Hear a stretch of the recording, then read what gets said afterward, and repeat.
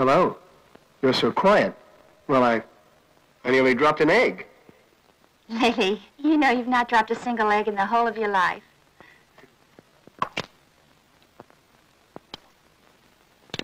Hey, I'll beat them.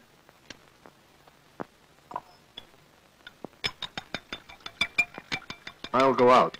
Keep watch for Fang. He'll be here. He did say tonight. It's not even dusk yet. Thank you.